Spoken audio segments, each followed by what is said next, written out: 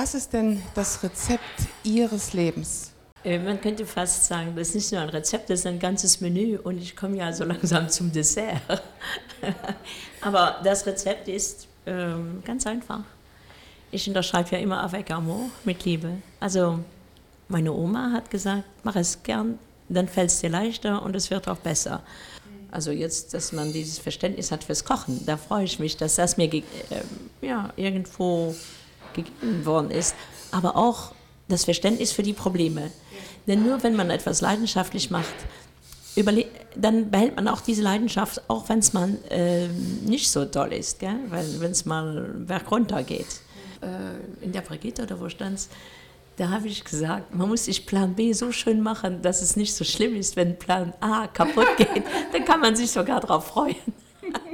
Alle Gastgeber und Rezepte unter www.topfgucker-tv.de